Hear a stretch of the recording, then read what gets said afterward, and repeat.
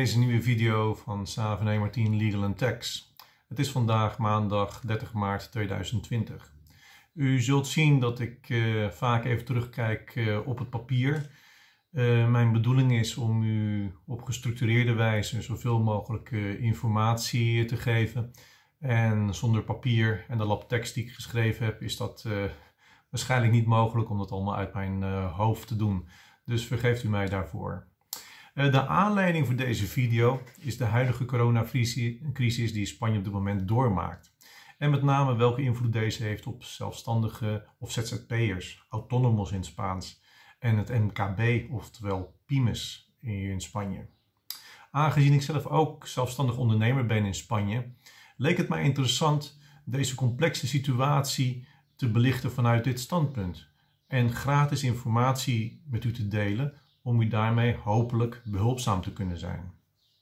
Ik had al eerder de afgelopen weken twee video's gepubliceerd, maar deze zijn in het Engels. Wellicht dat deze nieuwe video toegankelijker is voor alle Nederlandstalige ondernemers in Spanje. Als we de Spaanse regering mogen geloven op de in de pers gedane uitspraken en uitlatingen, heeft zij veel begrip voor de positie waarin ondernemers zijn komen te verkeren door of verplichte sluiting van hun bedrijven vanaf dag 1 van de lockdown, zoals bijvoorbeeld restaurants, bars, cafés, of hoewel niet direct verplicht geweest tot sluiting, toch hebben moeten aanzien hoe hun klanditie, omzet en cashflow in maart op onverwachte wijze flink naar beneden gebracht zijn. En daar heeft zij maatregelen voor genomen, geld gemobiliseerd, nu wat in de eerste plaats een opluchting had moeten zijn voor de ondernemers om dit economische offer te kunnen brengen ten behoeve van de algemene volksgezondheid en om overbelasting bij de ziekenhuizen en de IC-units te voorkomen, is het naar mijn mening niet gelukt. Er zitten naar mijn mening wat addertjes onder het gras die ik in deze video nader toe zal lichten. Al eer ik verder ga wil ik een ieder op het hart drukken dat deze video op geen enkele wijze een professioneel advies inhoudt. Iedereen moet gewoon bij zijn of haar gestor te raden en bespreken wat er in elk concreet geval gedaan kan worden om de pijn te verzachten als ondernemer. Wel druk ik een ieder op het hart om vooral door te vragen en wellicht dient deze video als eye-opener om u meer bewust te maken van de tot nog toe genomen maatregelen van de Spaanse regering. Als ondernemer heb je altijd te maken met cruciale zaken, zoals personeelskosten, overige kosten, omzet en cashflow, kosten van het autonomo zijn en de eigen persoonlijke kosten voor het levensonderhoud. Ik zal trachten in deze video min of meer deze structuur aan te houden. 1. Begin het met de personeelskosten. Het besluit dat de regering daarin genomen heeft is in principe hoopvol en ik denk op korte termijn, zolang de lockdown duurt, redelijk effectief. De bedrijven mogen een ERTE aanvragen. Dit is een tijdelijk ontslag van de werknemers als gevolg van de lockdown. Heeft u minder dan 50 werknemers, dan hoeft u, indien het ontslag toegestaan is, voorlopig geen Seguridad Sociaal meer te betalen voor uw werknemers gedurende de tijd van het ontslag. Ik neem aan dat dit scenario voor de meeste ondernemers van toepassing zou kunnen zijn en daadwerkelijk financiële lucht zou kunnen geven gedurende de lockdown. Voor de werknemers betekent dit dat zij een werkloosheidsuitkering kunnen aanvragen en ontvangen dan meen ik 70% van hun salaris. Gedurende dit tijdelijk ontslag boeten zij niet in aan opgebouwde WW-rechten, heel belangrijk. En ook al waren ze nog niet lang genoeg in dienst om onder normale omstandigheden deze uitkering te kunnen genieten, kunnen zij vanwege deze bijzondere situatie toch hun uitkering ontvangen alsof ze wel al voldoende rechten hadden opgebouwd. En bij opheffing van de lockdown moeten zij weer in dienst teruggenomen worden onder dezelfde voorwaarden als voor de lockdown. Uiteraard geen totaal ideale situatie voor een werknemer, maar het is geen onaardig als ik dat zo mag zeggen. Nummer 2. Overige kosten van de bedrijfsvoering. Tja, eh, deze lopen natuurlijk gewoon door. En helaas zijn de termijnen voor het doen van de belastingaangifte gewoon gehandhaafd. Wel kan men kennelijk uitstel van betaling van de IVA en de IRPF aanvragen. Dit is de BTW en de looninhoudingen. Er is geen gehele of gedeeltelijke kwijtschelding van belastingsschulden. De molen draait gewoon door ondanks dat er geen of veel minder geld verdiend wordt. En hier gaat de Spaanse regering natuurlijk nu al de mist in. Ik ga ervan uit dat in principe iedereen bereid is mede te werken aan het beheersen van de pandemie.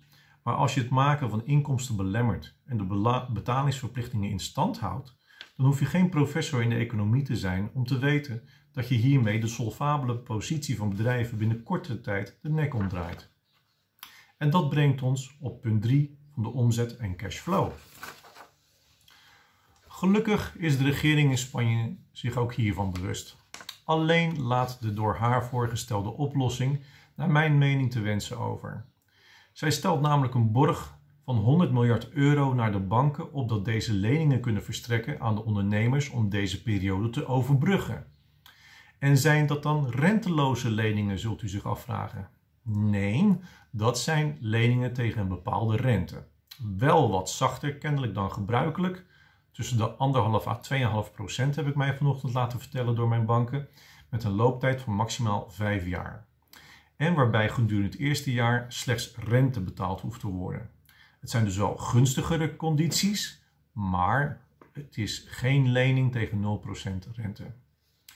Dus als ondernemer verdien je geen geld meer, of in elk geval beduidend minder, en onvoldoende om aan alle lopende verplichtingen te voldoen.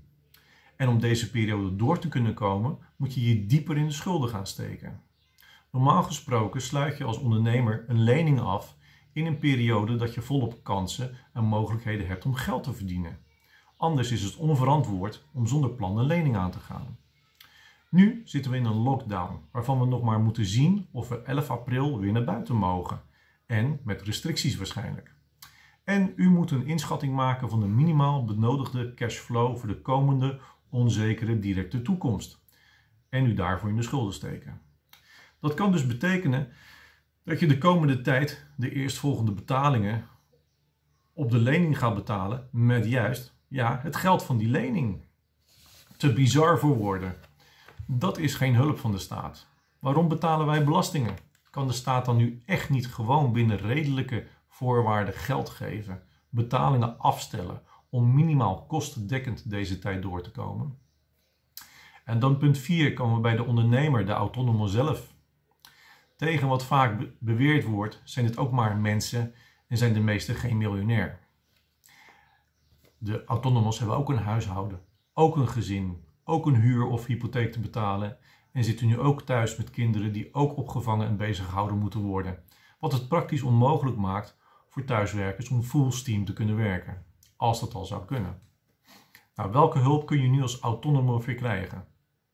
Als u door lockdown direct uw zaak heeft moeten sluiten, zit u in de beste positie om een uitkering aan te vragen. Want door bij de aanvraag aan te tonen dat u moest sluiten en dat zal in principe redelijk eenvoudig moeten zijn, heeft u recht op een uitkering. Betaalde u het minimum aan Seguridad Social voor Autonomos, dan heeft u recht op ongeveer 660 euro netto per maand. Betaalde u meer, dan zou u meer moeten ontvangen. Probleempje zie ik echter in het feit dat u bij moet zijn in de betaling hiervan. Ik begrijp dat uw quota de autonomos over maart dan ook betaald moet zijn. Dus per saldo houdt u ongeveer 360 euro over. Voldoende, toch? En die maanden erop, in principe hebben we nu een lockdown voor één maand, maar dat kan verlengd worden per twee, weken. De regering zegt dat u dan geen Seguridad Social hoeft te betalen. Ik zelf vind dat echter niet terug in het besluit. Wellicht dat uw gestor het wel ziet, wat ik hoop, en dat ik het niet goed gelezen heb. Heeft u niet moeten sluiten door een lockdown? Dan kunt ook u deze uitkering aanvragen. Maar dan moet u aantonen dat uw omzet met 75% gedaald is in vergelijking met de voorgaande zes maanden aan de lockdown. Dus probleem in maart, aantonen in april en met een beetje geluk uitkering eind april en dat terwijl de economische hulp juist nu al vereist is en niet pas eind april. Voor zover ik weet moet bedrijfshuur, huishuur, water, licht gewoon doorbetaald worden. Alleen bij sociale woningen komt men huurders tegemoet. Voor water en licht heb ik geen oplossing. Voor huur misschien wel. Mijn advies als jurist is om de situatie met de huisbaas te bespreken als u echt niet in staat bent of zult zijn de huur te betalen en op schrift een akkoord vast te leggen om deze periode door te kunnen komen. Hier geldt contractsvrijheid van partijen, van kwijtschelding, verlaging en of uitstel van betaling van de huur. In geval de huisbaas niet mee wil werken aan een schappelijke oplossing, adviseer ik contact op te nemen met uw jurist of advocaat. Het lijkt mij dan een goed idee om in elk geval eenzijdig de huisbaas aan te schrijven om een bewijsmiddel van aangekondigde tijdelijke overmacht in zaken de betaling van de huur te hebben. Ik kan niet procedureel vooruitkijken, maar ik zou mij zo voor kunnen stellen dat er geen rechter is die al te lichtvaardig een uitzetting, uitzetting zou toewijzen in deze situatie. En dat tot slot het meest verse nieuws van vandaag, 30 maart 2020. Ondertussen nam de Spaanse regering dit afgelopen weekend weer een besluit om de lockdown nog strenger te maken. En ook de niet-essentiële diensten en beroepen te verbieden naar hun werk te gaan. Dit is gisteravond pas om tien over half twaalf gepubliceerd in het Staatsblad. Ging om 12 uur s'nachts in werking. En nu kunnen de wel toegestaande beroepen dit besluit gaan analyseren om te zien of ze wel of niet naar kantoor kunnen gaan. Want er is een annexo aan toegevoegd van professionals die nog wel steeds naar hun werk kunnen. Onder andere de gestoria's. Lijkt mij ook logisch gezien de in stand gebleven belastingverplichtingen waarbij ondernemers hun adviseurs en accountants nodig zullen hebben. Echter, er staat bij alleen in cuestiones urgentes, urgente kwesties. Hoe moeten wij dit dan nu weer interpreteren? Aangiftetermijnen blijven in stand. Als de accountants niet vanaf vandaag beginnen, redden zij de gestelde aangiftedata niet. En is het trouwens ook niet urgent toch proberen geld te verdienen wanneer de staat jou niet of nauwelijks gaat helpen? Uiteraard onder inachtneming van de nodige hygiënische maatregelen. Ik hoop dat u iets heeft aan mijn bescheiden bijdrage en informatie in deze lastige tijden. Wellicht kunt en wilt u het delen met andere ondernemers die zich ook in deze situatie bevinden. Zo gauw er meer nieuws over dit onderwerp is, zal ik mij weer melden met een video over dit thema.